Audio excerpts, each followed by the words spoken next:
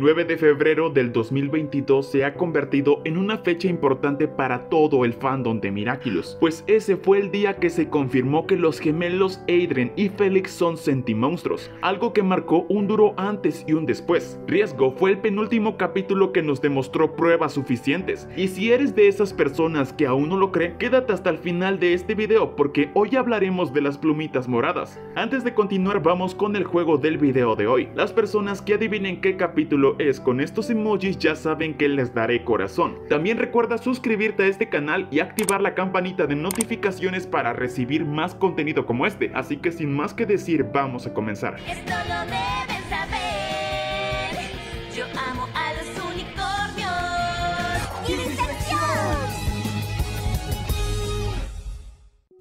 Este capítulo no solo nos mostró cuánto riesgo puede llegar a tomar un personaje, sino que básicamente este capítulo nos tiró a la cara la cruda y triste verdad sobre que Adrien y Felix son sentimonstruos. Este capítulo nos mostró desde que comenzó una y otra vez que los primos son un par de plumitas moradas y que con solo un chasquido Adrien y Felix pueden desaparecer para siempre y sin nada que se pueda hacer para recuperarlos. El primer vistazo lo tenemos al inicio del capítulo, cuando Adrien decide enfrentar a su padre con respecto a que solo lo utiliza. Adrien no hace. Sin embargo, Gabriel Agrest lo manda a callar y le da la orden de probarse la ropa que le envió. Por su parte, Adrien sin chistar obedece mágicamente. Y aquí la primera prueba de que Adrien es un sentimonstruo. El segundo vistazo lo tenemos en la escuela, cuando Marinette está con Adrien, quien le cuenta que a veces desea enfrentar a su padre y contarle su sentir. Sin embargo, él dice que no puede porque siente que algún tipo de fuerza invisible lo detiene y frena a no seguir que evidentemente se refiere a la magia de la Mog, el precio de ser un sentimonstruo, ya que este está siendo controlado. Lo que una vez más en este capítulo nos repite y tira a la cara que Adrien es un sentimonstruo. El tercer vistazo lo tenemos ya de una manera más directa, clara y explícita. Cuando Gabriel Agres se encuentra en la habitación con Natalie, este le dice a ella que le confía el anillo de su esposa y la vida de su hijo. A ver, Kidis,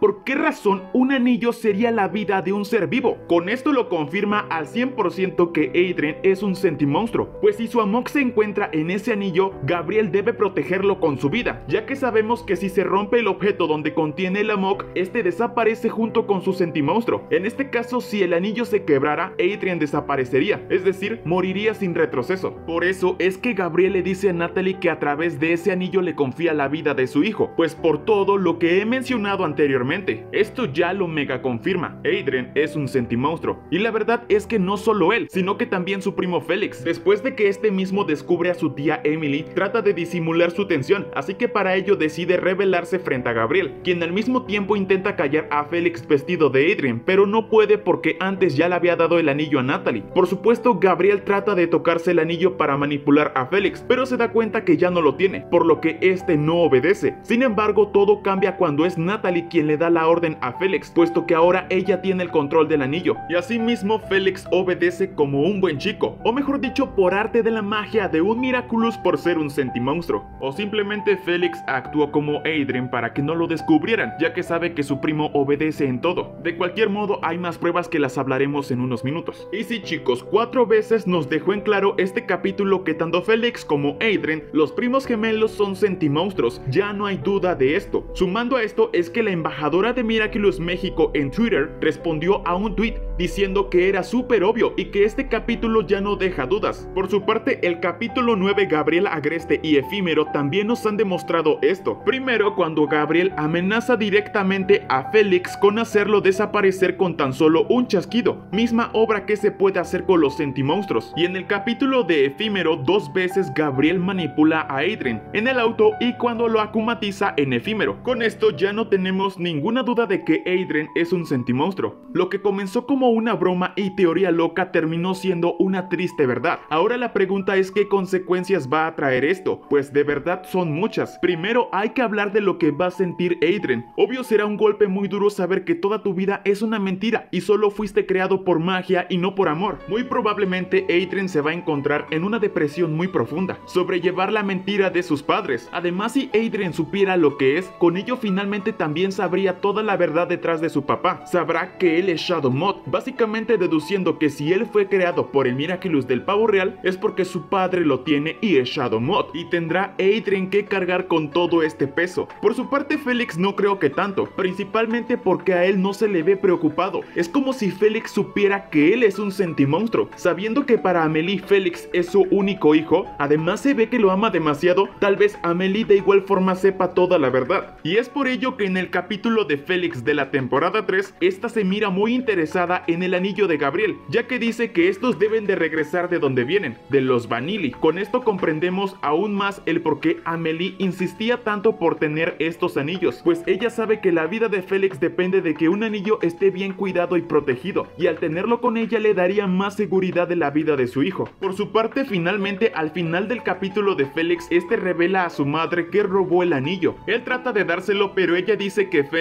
lo conserve. Por supuesto, esto con el fin de que Félix pueda tener libre albedrío sin que nadie lo manipule o controle. Además de que Amelie menciona acerca de la historia de estos anillos, cosa que nosotros aún no sabemos. Probablemente en aquel entonces fue cuando ella le contó la verdad a Félix. Así que básicamente Amelie y Félix sí saben la verdad acerca de los sentimonstruos. Esto no está confirmado, pero en base a cómo actúa madre e hijo podemos deducir que ellos saben esto. Al igual que Gabriel y Emily. Al parecer, el único que no sabe nada y ha vivido engañado toda su vida es Adrian. De verdad, todas las pistas ya estaban presentes desde un inicio. Durante las primeras tres temporadas nunca vimos que Gabriel controlara a Adrian de la manera tan fuerte que lo hizo en esta cuarta temporada. Y la razón por la cual nunca habíamos presenciado la manipulación del anillo es porque durante las primeras tres temporadas el anillo no lo tenía Gabriel, sino que ese anillo que ahora es importante estuvo siempre con Emily. Pero como Félix robó el anillo que tenía Gabriel, este mismo optó por tomar el anillo de Emily, el cual suponemos es el más importante porque ahí está el amok. Y a partir de que Gabriel toma el anillo que se encontraba con Emily, es cuando comienza a tocarlo para manipular a Adrian. Y repito, en las primeras tres temporadas no lo hacía porque lo tenía Emily. Por su parte recordemos otros puntos interesantes y que refuerzan más esto. Sabemos que los capítulos siempre llevan el nombre de un acumatizado o un sentimonstruo, y el capítulo 23 de la temporada 3 lleva por título Félix, el cual resulta ser el nombre del sentimonstruo del capítulo que en este caso es Félix. De otro modo, el capítulo se hubiese llamado Trío Castigador, por Reflecta, Lady Wi-Fi y Princesa Fragancia, pero así no fue. Y ahora, esta podría ser la razón por la cual Emily se encuentra muerta, pues al no poder tener hijos, es muy posible que por la desesperación Amelie y Emily hayan creado a sus hijos perfectos con el Miraculous del pavo real, asimismo creando a Félix y Adrien como unos bebés. Por otra parte, ya se ha confirmado que los sentimonstruos pueden hacer lo mismo que un humano común, comer, crecer, enamorarse, reproducirse, casarse, etc. Por lo que Adrien y Félix sí pueden desarrollarse. Básicamente fue la creación de Emily, cosa que seguramente dañó el Miraculous, pues los sentimonstruos Adrien y Félix ya han vivido por lo menos 15 años. Tal vez conservar a un sentimonstruo durante mucho tiempo no es nada bueno. Tal vez los sentimonstruos solo son para un rato de ayuda y no para siempre. Y al durar tanto Adrien y Félix es lo que probablemente terminó con la vida de Emily, ya que estos consumieron toda la energía de ella hasta desvanecerla y dañando el Miraculous. Y probablemente la única forma en la que Emily pueda regresar a la vida es eliminando de la existencia a Félix y Adrien, cosa que creo nunca va a pasar, ya que sería muy grotesco y cruel. Ahora la razón por la cual fueron creados estos gemelos es porque tal vez Emily y Amelie no podían concebir hijos, algo similar a la historia del cuadro que tiene Gabriel, una mujer que no podía tener hijos, lo cual resulta ser mucha coincidencia. Las pistas, repito, siempre estuvieron desde un inicio. También hay otras teorías que dicen que tal vez Emily perdió a su hijo. Tras tanto dolor decidió reemplazarlo con un sentimonstruo exactamente igual que su hijo. De verdad que hay muchas teorías locas del por qué se pudieron haber creado Félix y Adrien. No sé, pero me parece muy raro referirse a Adrien como un sentimonstruo. De verdad ya lo sospechábamos, pero ahora que estamos seguros de esto, la verdad es que aún no lo proceso